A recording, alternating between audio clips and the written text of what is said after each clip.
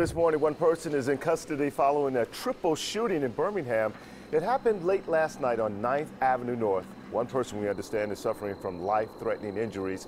A second person was transported by private vehicle. We don't know how they're doing right now.